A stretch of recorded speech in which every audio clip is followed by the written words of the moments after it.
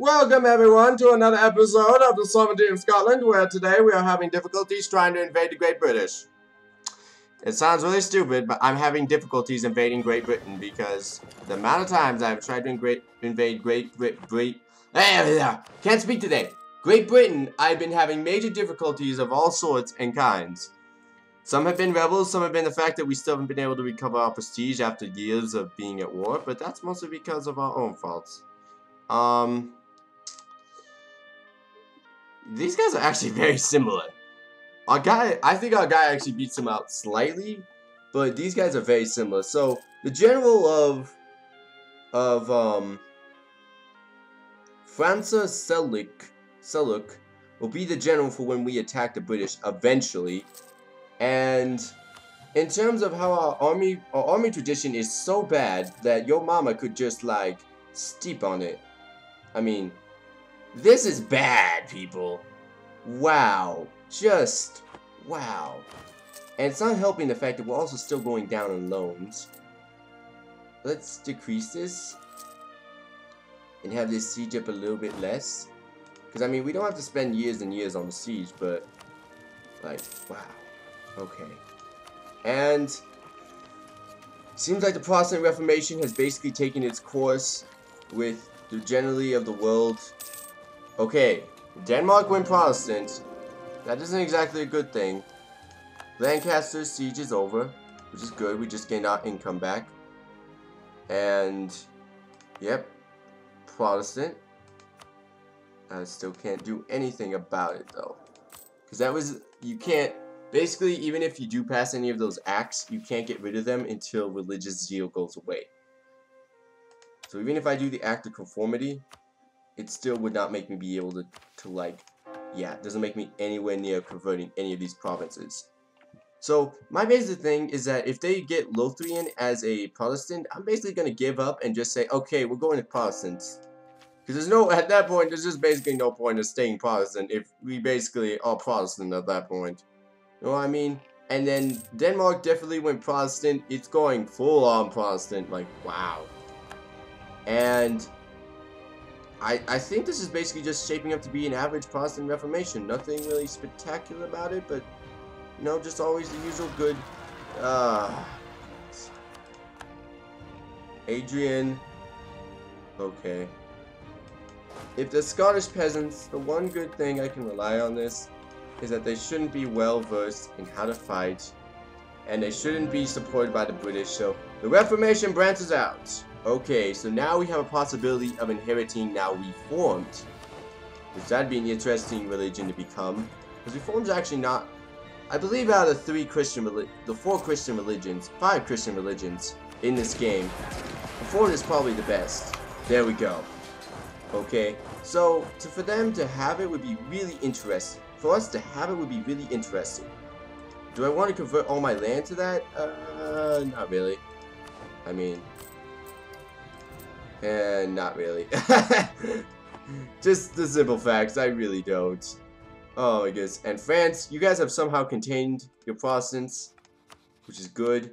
Also, we still have royal ties to, to, uh, to a Castile. Castile must really hate that. They must be like, dang it, we, we helped. These guys are now a part of our family line. This stinks. Okay. Active festivities. Oh my goodness. Again. Dang it. Again! It's a base tax. I can't I can't just, oh goodness. If base tax is there, then it helps us out way better if we just accept the base tax. I mean, short-term wise, the stability would be nice, but it's base tax. Uh, okay. Hopefully, we won't have any more attacks. And apparently, even Austria is going through a time of religious disorder. France is apparently Yorkshire. Oh, you British jerks. You British jerks. I have the like mind to just declare war on you, see you guys suffer, and then go back and go kill you. Because I know it was you. There is no possibility that it wasn't you guys who just supported rebels in my land while I'm weak. France, yeah, let's get a royal marriage back. I'm hating these guys right now so much. So very, very much. okay. Means I'm gonna have to put all put our stuff back. But you know what? I'm not to attack these guys until after the war starts, which, if I play my cards right, I could get France in on the war, because France will want to be on this war. Truces, oh, they can only declare war. Well, I have no reason to stop myself. Uh, yeah, I have no reason to stop myself. They don't have any reason to stop themselves. France is not at war with anyone. Let's do this. Let's gain that free... Oh, shoot. Everyone that is a part of my shipbuilding process, everyone dock up as quickly as you can. I don't want anyone to die. Okay. There we go. Alright. So now that my people are actually back to being all ultra badasses with the 3.1 Wow, that's still not very good. oh my goodness.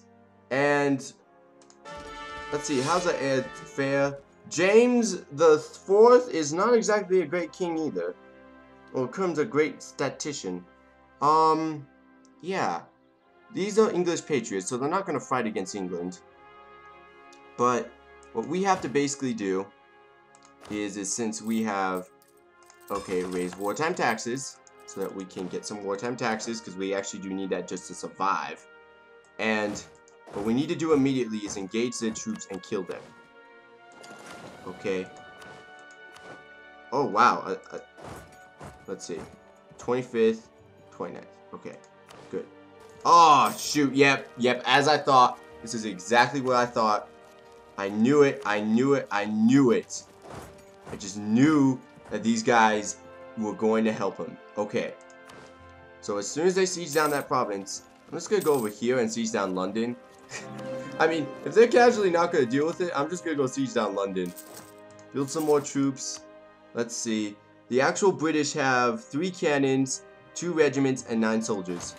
We have at our disposal two cannons, ten regiments, uh, one about 13 soldiers. Okay, and hey Britain, you forgot about one thing. These are my patriots, so I can do that. Haha. -ha. And let us just continue on. And let us hope that maybe France will come and help us, but I highly doubt that. Denmark somehow and What the hell? How did Denmark enter this war? Oh my goodness. That... Did they have an alliance with Denmark? Okay, they had an alliance with Denmark. Denmark, I'm probably guessing, called in Muscovy. Yep, Denmark, called in Muscovy. Brandenburg apparently didn't want to join in, though. I hate alliance chains so very much. And now I can't call in Austria because it's been 60 days. My goodness. Also, you guys, right here, show province, cancel that. Okay. Don't you dare build that soldier. Okay, you guys, go this way, go this way, go this way, then go down here. That means I have to beat up Denmark before they'll give me my land. Ah, I hate you so much right now, England. You guys just did the cleverest thing you could have ever done and make the Denmark. Ah. That makes me somewhat very mad, but I'm not going to quit because I'm going to beat these guys. Just let my rebels in the north kill the Denmark, and if they try to attack me, well then screw them. We have to, but what we are going to have to worry about is the fact that we basically are on an island all by ourselves.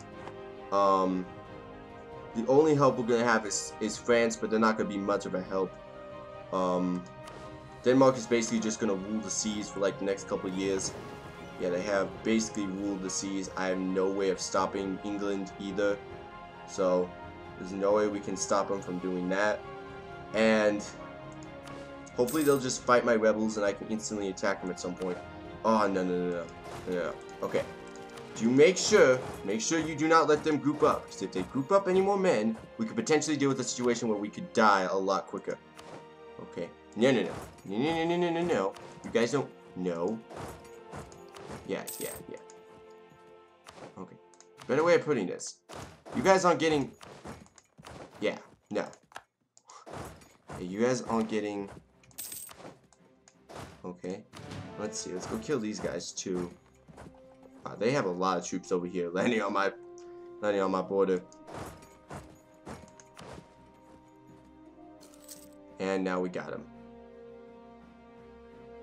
Ooh, oh, oh, oh, oh, oh. No, no, no. And this could potentially crash again, so I'm going to stop.